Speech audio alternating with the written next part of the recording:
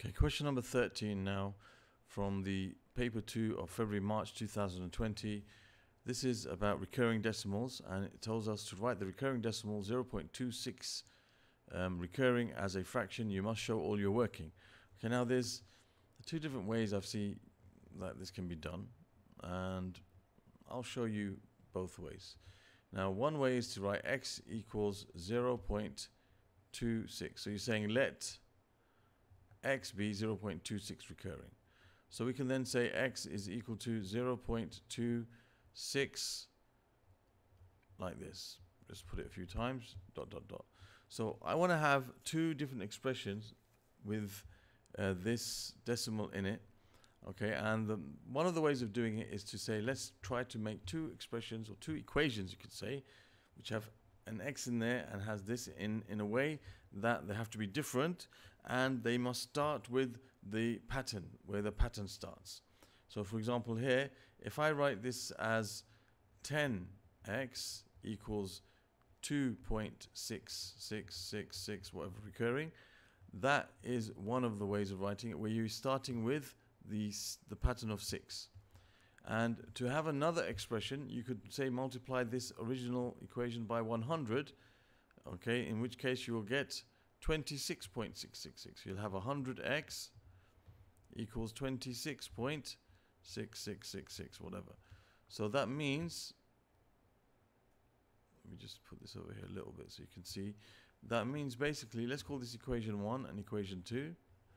Um, if I were to subtract these two equations, I'll have 100x minus 10x, which is 90x, equals, and this will be 26.666 minus 2.666. All these things after the decimal point are going to cancel out. You're left with 26 minus 20 minus 4, minus 2, sorry, which is 24. So you have x equals 24 over 90, which can simplify to, if you divide by, I think 6 goes into all both of these, doesn't it? 6, yes, 6 24 divided by 6 is 4 and 90 divided by 6 is 15. Okay, so 4 over 15 is the answer. That's one way of doing it. Another way, which is very similar, is to say again, let x equals 0.26 recurring and then multiply by 10. You have 10x equals 2.6 recurring. So you're going to end up with, um, let me just write it out like this.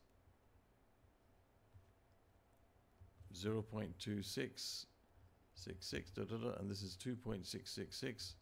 Now, when you subtract these, some, some people subtract like this, will be 9x is equal to, you'll have 2.4, and all the sixes after that will, will disappear.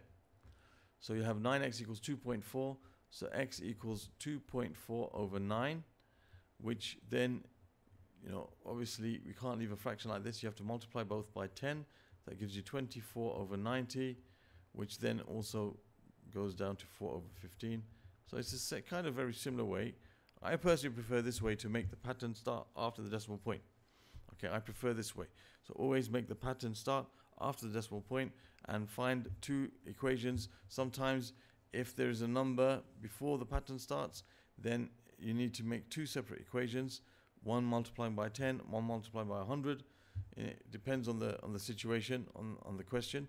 But anyway, you have two equations where they both, after the decimal point, starts the, the, the pattern and then you subtract them and you'll see all of the recurring part just completely cancels out and then you can, you know, continue to find what x is. As we called x 0.26 recurring, that means 0.26 must equal the x that we come out at the end, which is 4 over 15.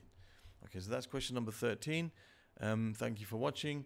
Here we have another, uh, here we have the playlist for the paper, for the paper two, a playlist for the basic arithmetic that this is from. And we have the playlist on the card on the top for the paper four once it's done. And you're going to have the icon here for registering for the channel, so subscribing for my channel, sorry. So I hope you understood and I hope to see you again sometime soon.